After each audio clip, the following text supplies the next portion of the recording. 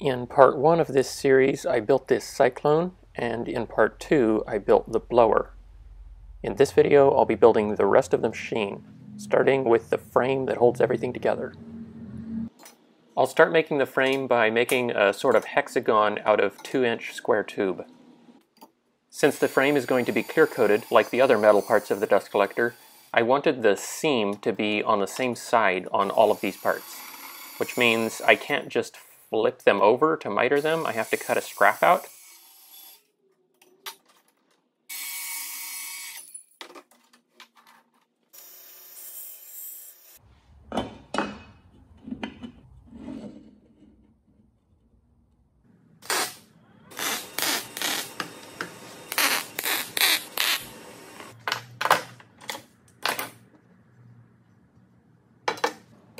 Cut both of these corners off so that they're parallel with the straight part.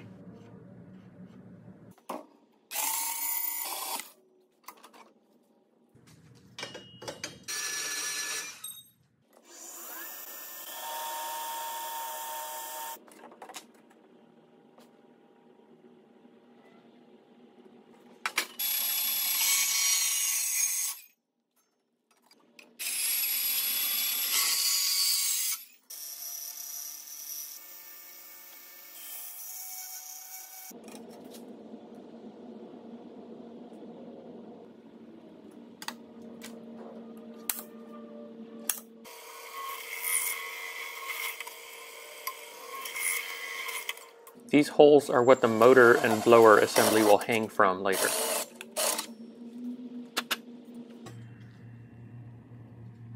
So I needed two identical of these, so I welded together a second one. And now to get the end profile right, I'm just gonna set this one on top of there and then mark it.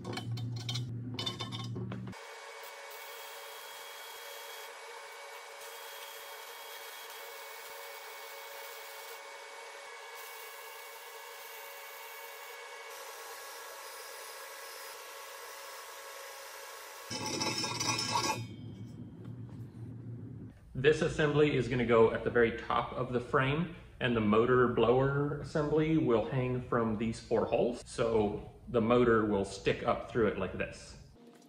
Here I'm starting on the legs, which are made from larger 2 by 3 inch tube. I think this is 14 gauge wall. And I'm using the same technique here of cutting a piece out so that the seam will be on the same side through the corner.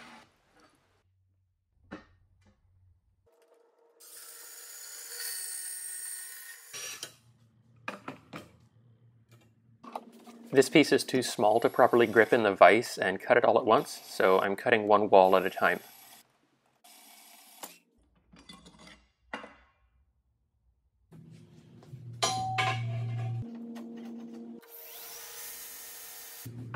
So here's how the top of the leg goes together, and you can see how the seam follows around the corner.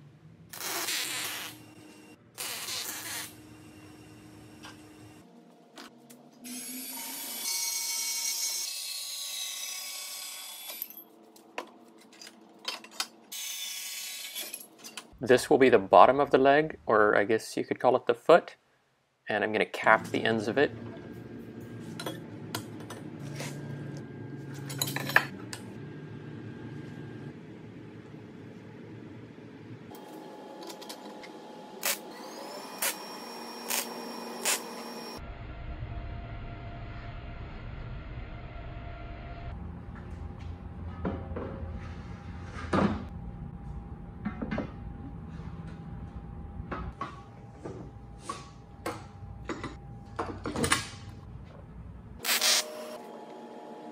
reinforce the corner between the leg and the foot, I made these pieces.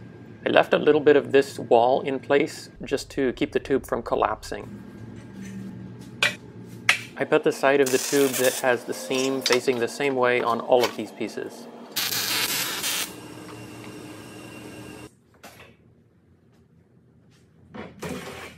And I made two identical ones of these. And here I'm setting them up on the table, making sure that they're spaced correctly, parallel, and square.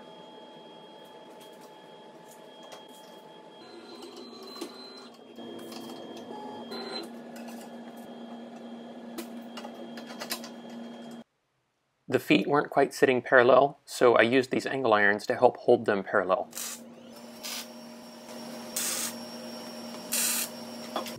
And this diagonal one will help keep the base square.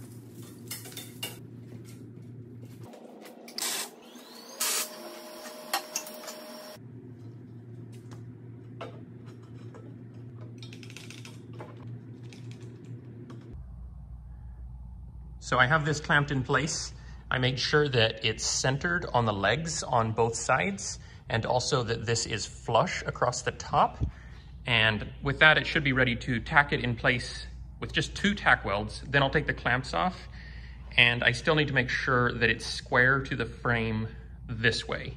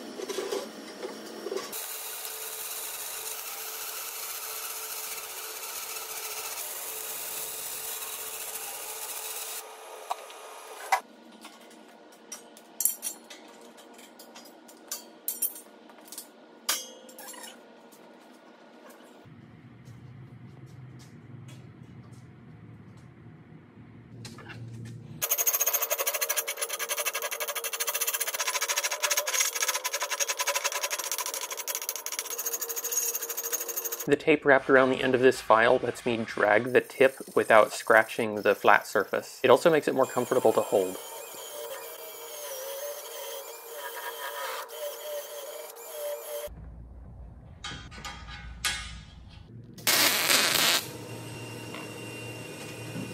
It's hard to see, but these tubes are bowed out slightly because of the welding on this side, so it would have rested right here in the middle. That's why the feet on the ends are necessary. Here I'm making a couple of parts that later in the build will be used to hold the handle that releases the drum. You'll see how these are actually used in a few minutes.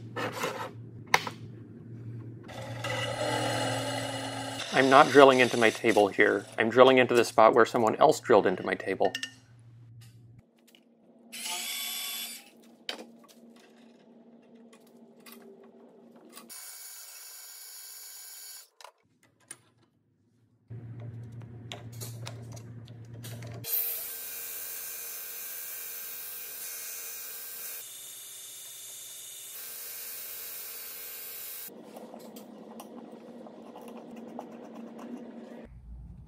And there's the finished part. It mounts here on the leg. Since there's going to be a bolt going through this tapped hole, there needs to be some clearance behind it. So I'm just drilling out a hole behind it.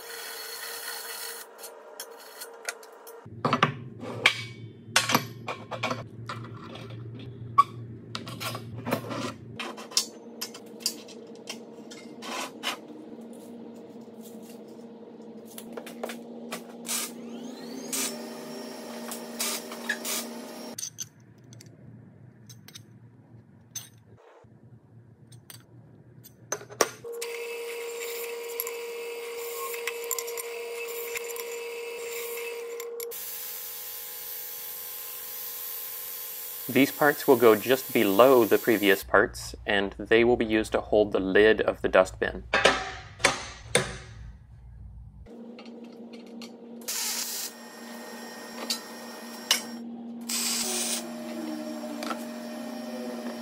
So these little pieces go right in this corner and they're supposed to be 3 eighths of an inch from the back. So I'll use that as a spacer, tack it in place. It's pretty hard to explain at this point what these parts do, but you'll see later.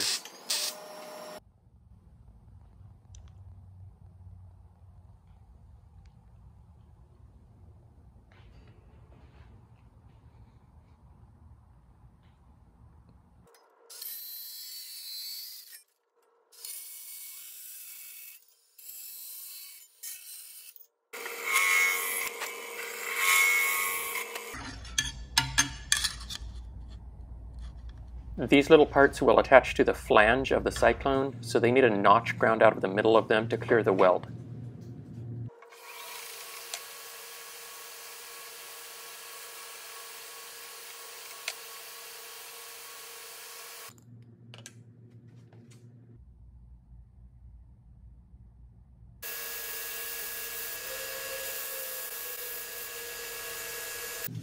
To position the two tabs that I just made, I need to mount the Cyclone in the frame.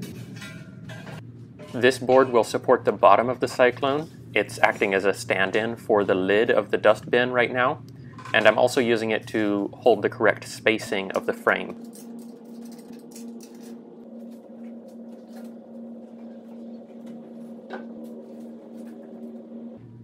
And here I can see that I made these tabs about a quarter inch too long, well, an eighth inch each. After cutting an eighth inch off, the Cyclone fits.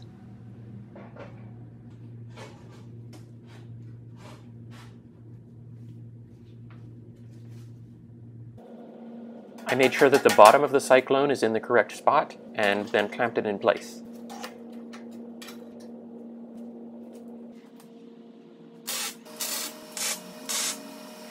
The weight of the cyclone is supported from the bottom, so these very thin tabs are there just to support the cyclone side to side. They're intentionally thin so that they can bend a little bit if they need to.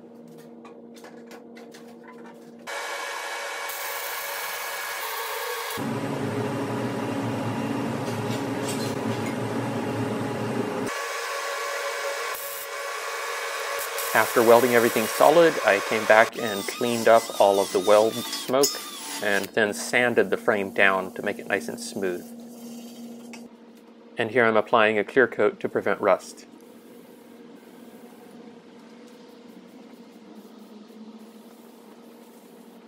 With the frame done, I'm starting on building the collection bin.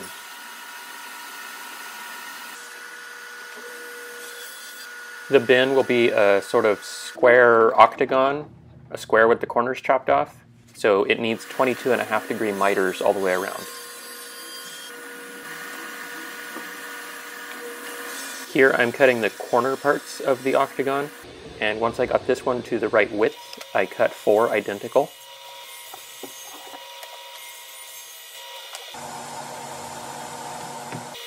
And then I did the same thing for the four longer sides of the octagon.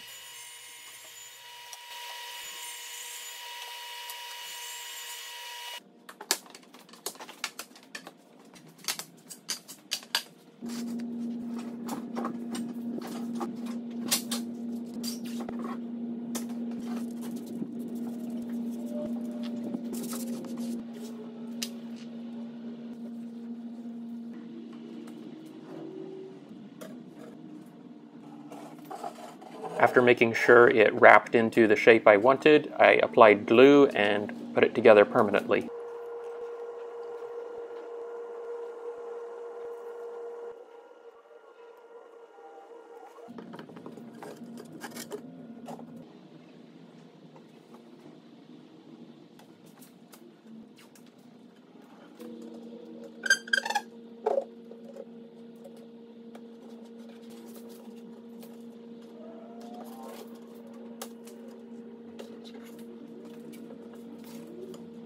This was a nerve-wracking and frustrating glue up, but it went okay. The final corner that I had to just tape once it was already wrapped up didn't go together so well, but the other seven corners went together really nicely.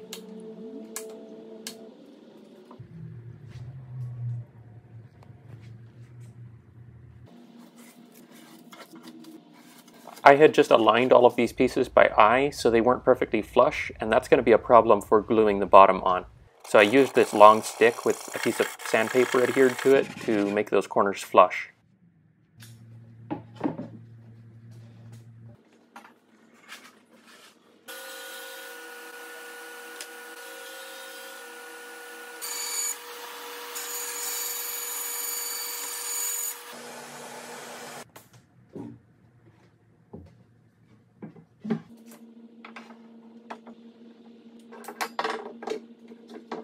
So I just set this combination square so that if I put it on top of this block, it reaches to the center. That means that if I come over to this side and I set the block just back from this overhanging edge, I can use this square to mark where the center of this plywood is. So that'll allow me to screw through this and into this plywood and be right in the center.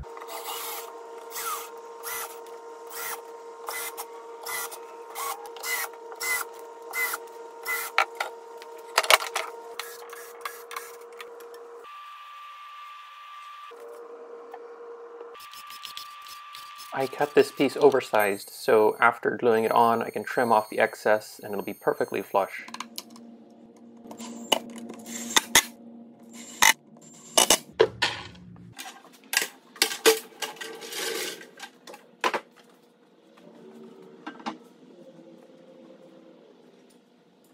Lid, I cut an oversized piece of some thicker 3 quarter inch plywood, and after clamping it in place, I carefully flush trimmed it to match the exact shape of the bin. I had to be super careful not to let the lid shift as I moved the clamps out of the way to finish routing it.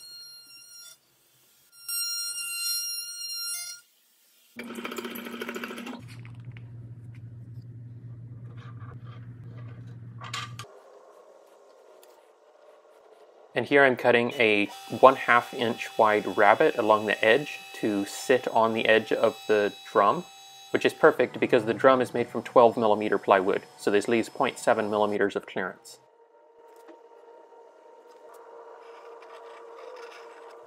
Here I'm laying out the hole where the dust will fall through the lid and into the bin, and here I'm laying out where there will be a window in the lid to see into the bin. So this shape will be the window. I marked a quarter inch offset from the inside of the window and then used a 7 inch Forstner bit to start all of the corners to get a nice corner radius. And then I just used my router with a fence to clean up those straight lines.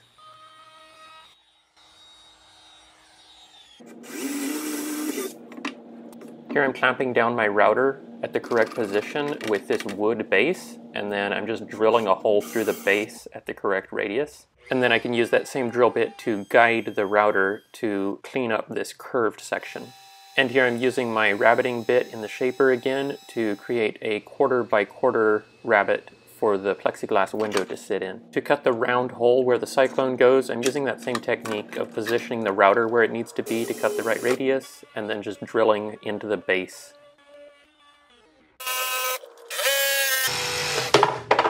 The bearing on this flush trim bit is writing on the precise part that the router cut and cleaning up the rough part that the jigsaw cut.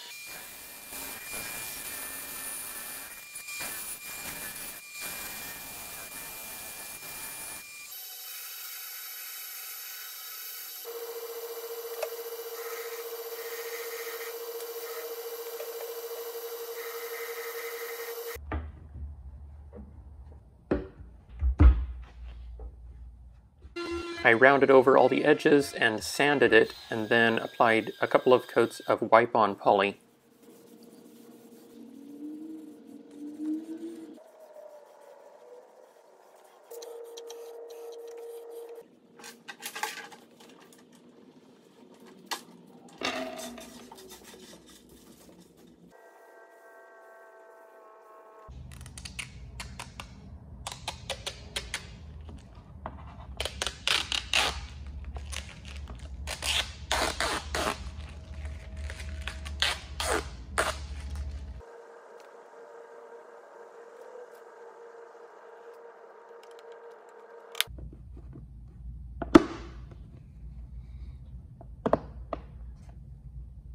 This stick holds the legs at the correct spacing, and then I can clamp the lid onto the frame.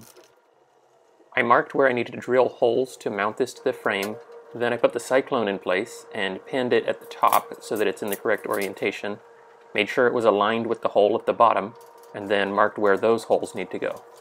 I started all of these holes with a step drill, so I have a 3 16 hole followed up by a quarter inch counter bore. And then I finished drilling all of these with a number 7 drill bit. Not quite all the way through because I don't want to leave a leak path. And then I attached these using quarter 20 machine screws. The quarter inch counter bore from the step drill was just to prevent the plywood from delaminating where I start the screw. Kind of switching gears here, I'm going to be mounting the blower to the frame next. The blower will hang from these four carriage bolts. There's a rubber washer on both sides of the wood which seals it and also lets it wiggle just a little bit. And then there's two nuts locked together so it doesn't have to be tightened on that rubber. There you can see how it wiggles. When I made the blower, I counterbored these holes so the head of the carriage bolt will sit as close to flush as possible. That should reduce noise. Next on these bolts there are two washers and then this rubber mount. These rubber mounts are for vibration damping. I got them from McMaster-Carr.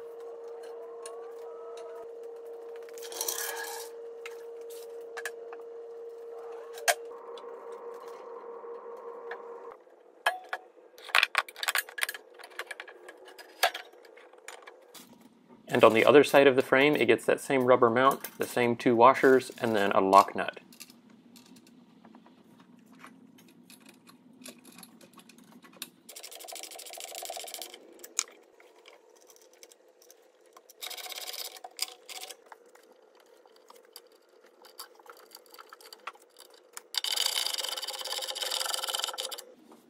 With the blower secured, I can stand the entire machine upright.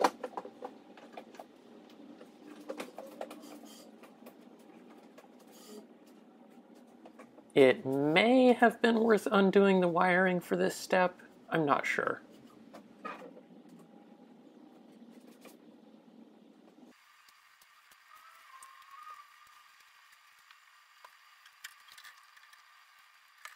This piece of hose will connect the cyclone outlet to the blower inlet. Since the blower is mounted on rubber, I figured it made sense to not rigidly mount it to the cyclone. The flexible hose should help prevent vibrations from transferring into the cyclone and being amplified as noise there.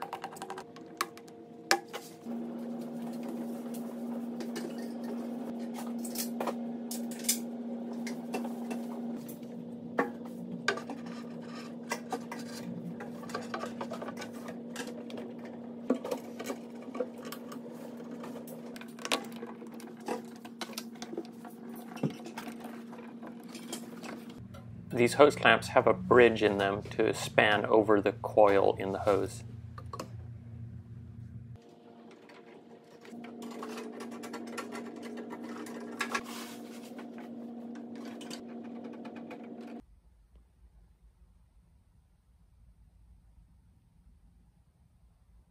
I lifted the Cyclone up and then fed this foam rubber sheet under it. This is the same material that I used on the Cyclone and the blower. And then just forced the screws through it and into the pre-drilled holes in the lid. Threading in these eight screws half a turn at a time with an Allen key was probably the most unpleasant part of this whole build.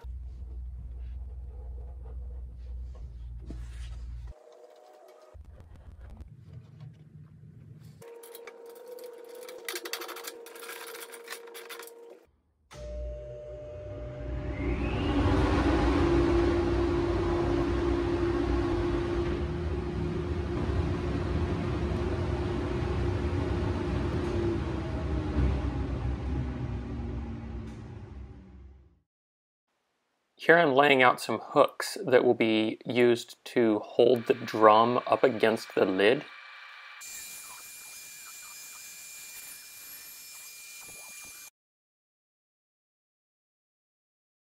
The shape of these parts will make more sense in a little bit.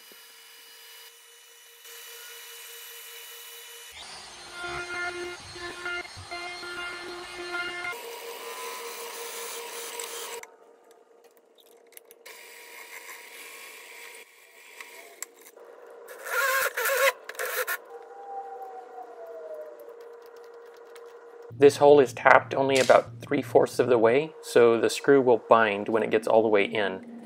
That way it holds its position. And here's a sneak peek at how that will be used. This bearing will roll up this sort of ramp and sit on top of the screw. This is a ball detent. It has a spring-loaded ball inside of a tube with a flange on the end. It comes pre-assembled like this. These hooks get assembled to the frame using a bolt, a washer, and a jam nut, and then that gets threaded into the hole in the frame.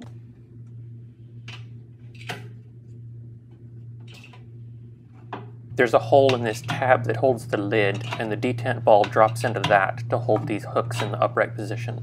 The two hooks will be connected to each other by a single handle, and I want that handle to sit in a dado just to give it more strength.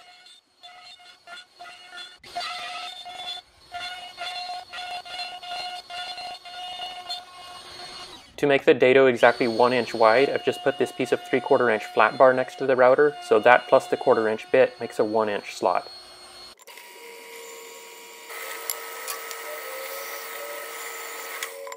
After applying some polyurethane, I reassembled this to the frame, using this custom plywood wrench to tighten the jam nut because my regular wrenches are too thick.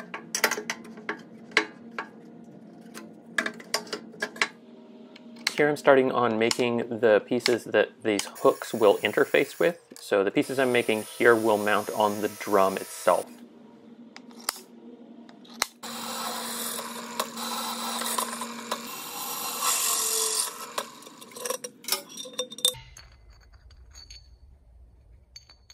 I clamped each of these to a piece of I-beam and then used the belt grinder to grind a taper into one end.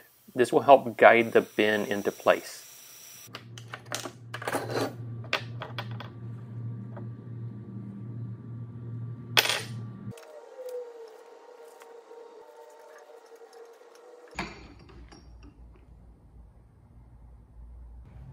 I bought these bearings to use on my shaper and they ended up not working because they can't handle the high speed without overheating, so I'm using them here. These countersink head half-inch screws worked perfectly for holding the bearings, but the end sticks out a little bit, so here I'm drilling a little clearance hole for the end of the bolt. I'm showing you this out of order just to show you where these pieces go, but now, back to actual chronological order, the next thing I did was to put this rubber window seal on the bottom of the lid.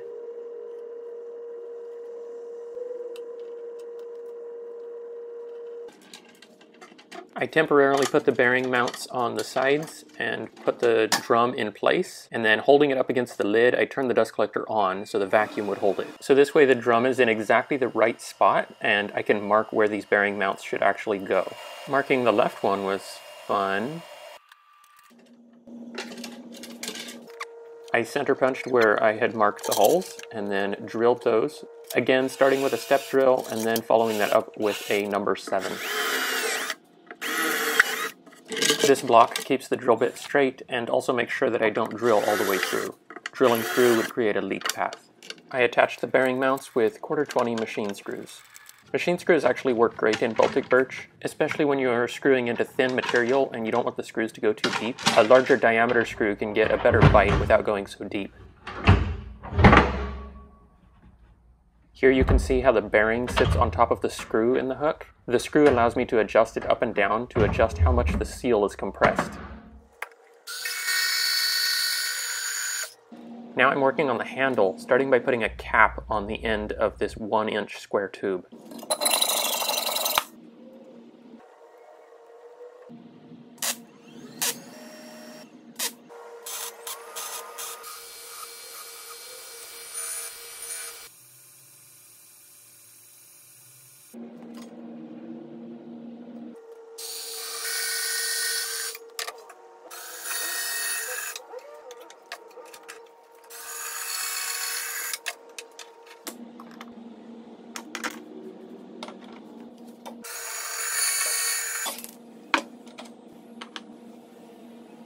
I'm transferring the hole locations from the hooks, so I can drill those before I assemble the handle.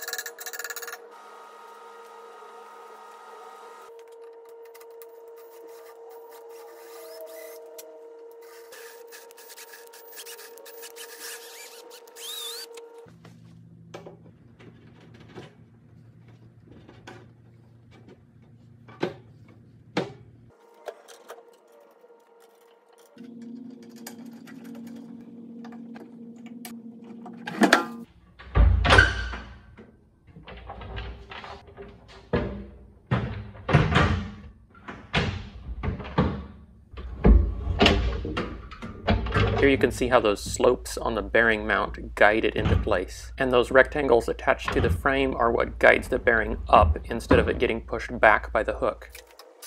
The next part is going to be a frame that holds a bag open inside the drum.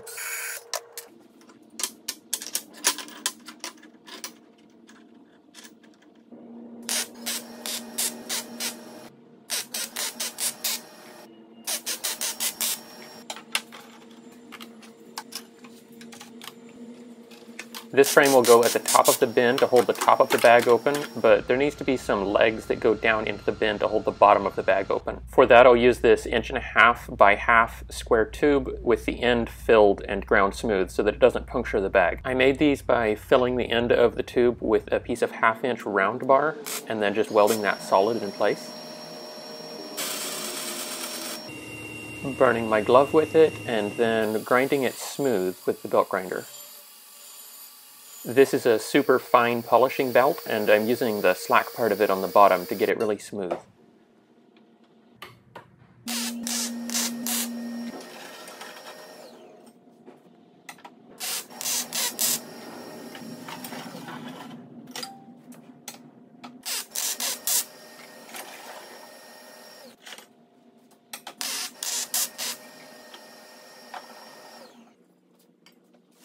Here's how this bag holder works. The bag just goes over the frame and then you'll notice I'm folding it inward. So the bag does not go over the edge of the bucket, it just goes inward over the frame, so there's room along these sides. This way the pressure will be more equal inside and outside the bag so it doesn't collapse the frame. The bag does still get pulled inward, but not with enough force to damage the frame. Next up I'll make the 90 degree transition that goes from the blower to the top of the filters. This needs to smoothly bend 90 degrees and also shift from a rectangle to roughly a circle. I'm going with an octagon because that's easier to work with. The actual transition will be made out of steel. Here I'm just making an MDF form to bend that around. You'll notice I cut some material out of the center of the curved piece. That's so that later it can collapse to be removed from the finished metal part.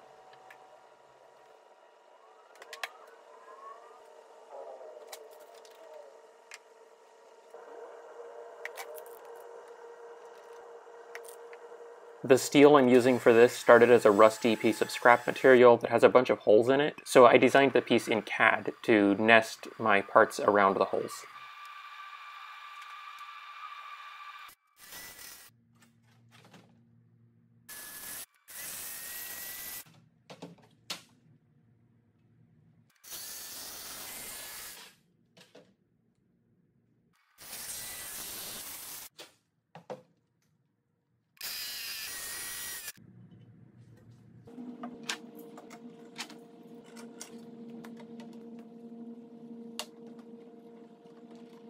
All of the metal parts got screwed to the form to make sure they stayed in place while I welded them.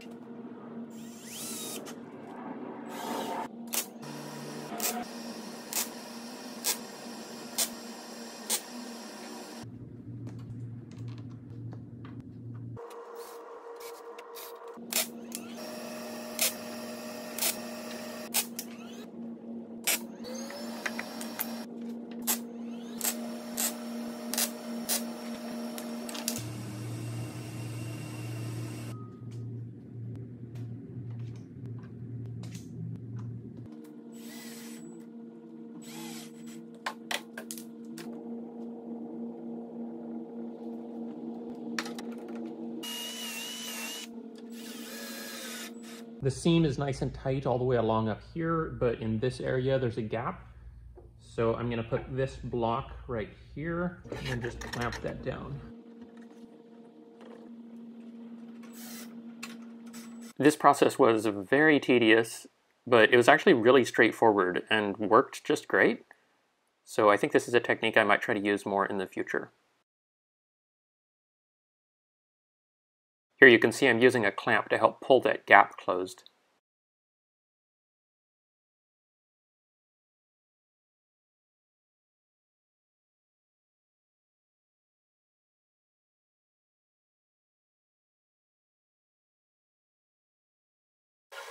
And then I welded the whole thing solid with a million tack welds.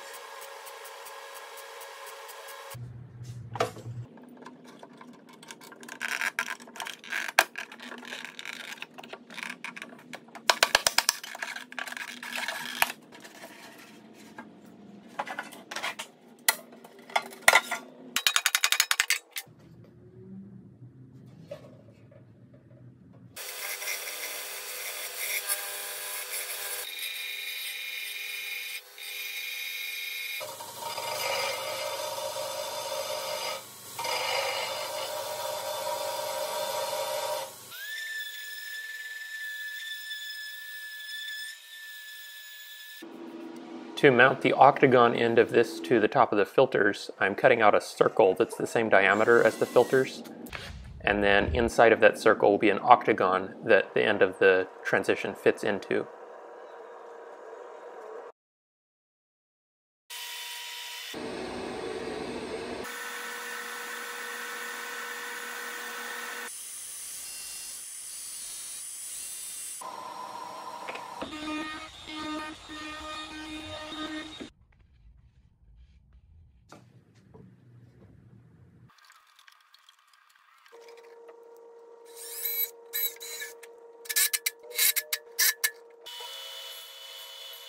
For the rectangle end of the transition, I also want a wooden flange, so I'm making that out of four sticks with half-lap joints.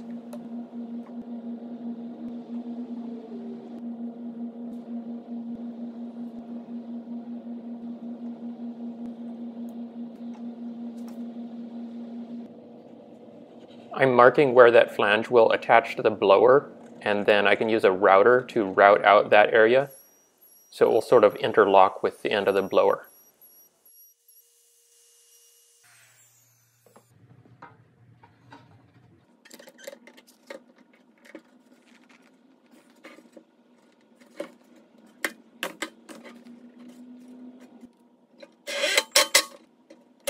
After securing the bottom of it, I used a square to make sure that both of the flanges are square to each other, and then I can secure the other side.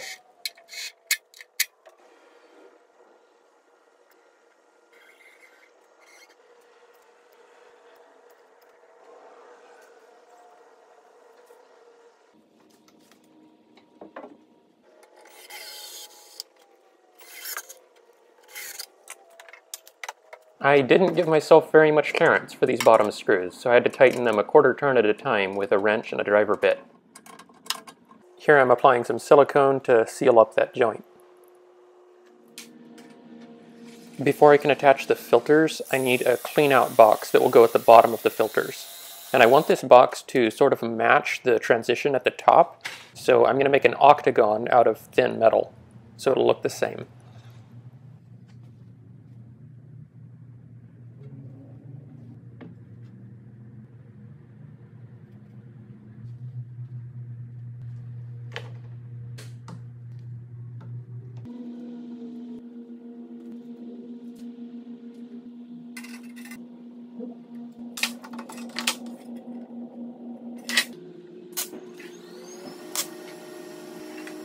Shaping this piece using the same octagon form that I used for the transition, so it'll be exactly the same shape and size.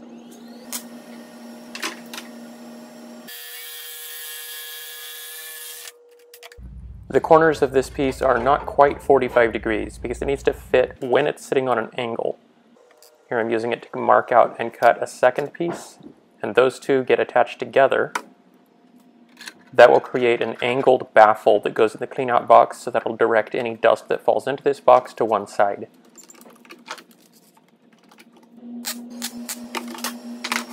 And I made this out of two pieces just to save material.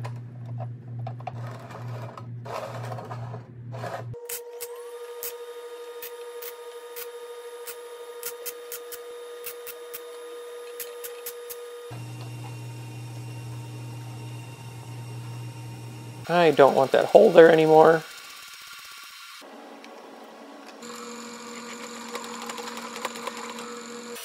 I sanded down this MDF disc until it just fit in the end of a shop vac attachment. The strip of metal that I'm bending around this will form a little clean out port that I can plug the shop vac into. I'm starting by bending both ends of this strip around the form. And after I finish bending it most of the way, I can cut off the end that has the little flat spot where the clamp was. That way it has a nice crisp bend all the way to the end. Once I finished bending it, I could mark and then cut off the other ugly end. And now I can hose clamp that around the form to pull it really tight. I took it back off the form and used a Forstner bit to create some relief where I can weld on the inside.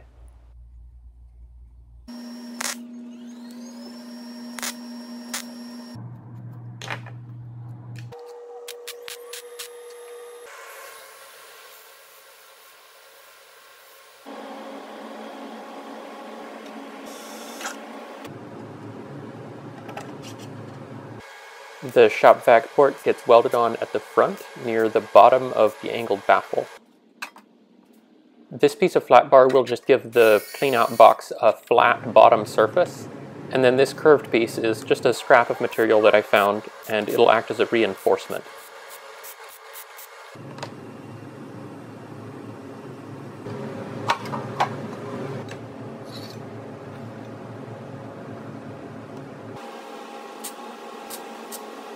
I wanted that bottom flat bar to stick out by about a 16th of an inch, so that's what these shims on the sides are for. Going back to the shop vac port, I had to hog out some material to relieve the pressure so that I could get this form out. And now I'm drilling and then clipping in between the drilled holes to remove the material from the inside of the port.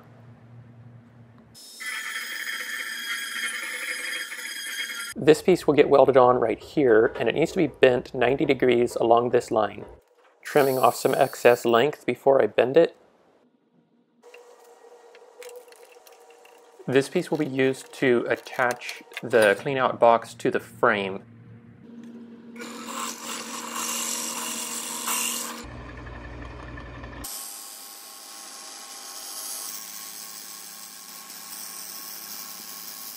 I'm making some vertical slots that will give it some vertical adjustment.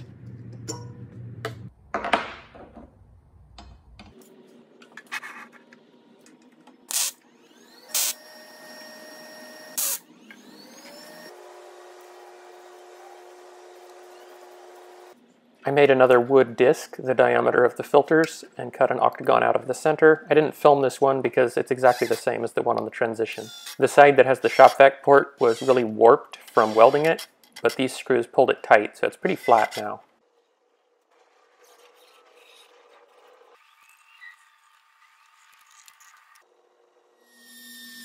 To attach the filters to the transition on the top and the cleanout box on the bottom, I'm modifying some hose clamps.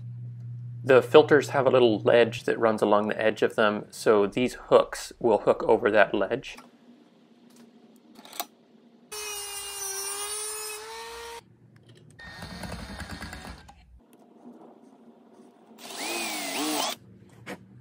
And then the other part of the hose clamp gets attached to the plywood disc.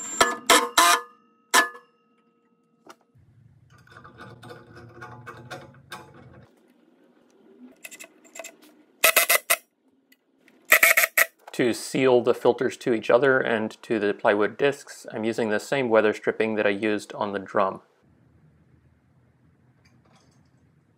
And here you can see how my modified hose clamps work to pull that filter against the disc.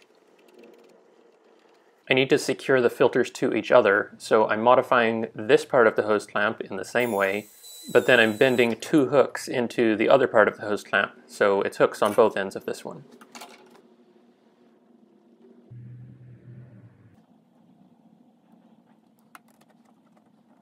The next step will be to put the filters in their final location. So before I can do that, I need to tap two holes in the frame for that angled bracket that's attached to the cleanout box.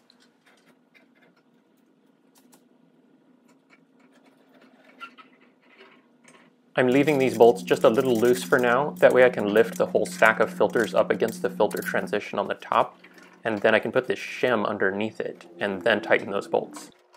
I did it this way so that the filters are supported from the bottom. They're not just hanging from those hose clamps. Almost there. The final part of this build will be this little plug that can plug up the shop vac hole in the cleanout box.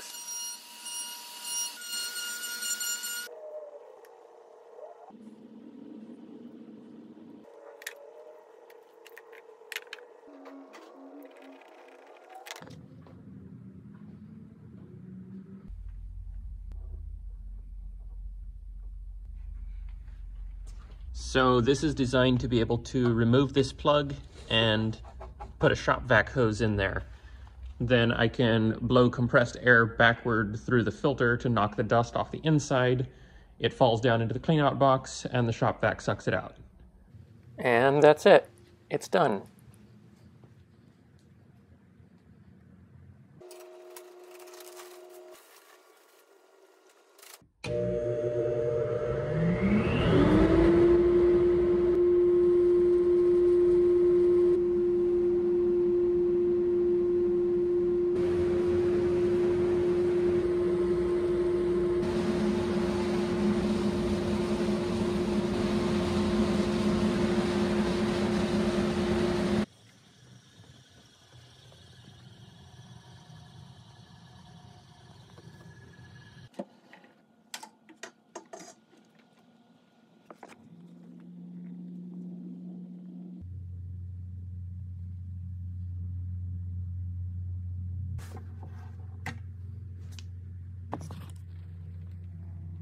Yikes, that's a lot of dust. Which means my cyclone doesn't work very well. I hated this project. It took about six and a half months, start to finish, and it cost about $2,400, which is only maybe four or $500 better than something like a ClearVue. And this is pretty much a copy of a ClearVue. The performance, I don't have an accurate way to measure the CFM, but the motor's only drawing a little over 12 amps and drawing that little power, it just can't be moving very much air, like laws of physics. So I think the CFM is not very good. The static pressure is about 15 inches of water, which is fine. I think that's fairly average. The noise level is about 88 decibels, which is absolutely terrible. That's like over twice as much noise as a ClearVue. So yeah, performance is bad. It took forever to build and saved me a tiny bit of money. At least it looks cool in my opinion. I could likely improve quite a bit of this stuff by just replacing the impeller. The impeller could be quite a bit larger diameter and also a little bit taller in order to move more air, since clearly the motor is not overloaded. That's the reason I made this impeller this small. I thought the motor would be overloaded but I can upsize it without overloading anything. Building it with more blades would help a lot with the noise, I think. But right now, I'm way too burnt out on this project. I'm not gonna change anything about it for a long time. In an upcoming video, I'll be doing all of the ducting, using PVC pipe for the ducting, and I'll be making some of the junctions and gates myself. I think also in that video, I'll be adding a bin level sensor, as well as something to measure the pressure on the filters so that I know if they need to be cleaned. So yeah, I think that's it for this one. I hope you enjoyed watching it more than I enjoyed doing it. Thanks for watching.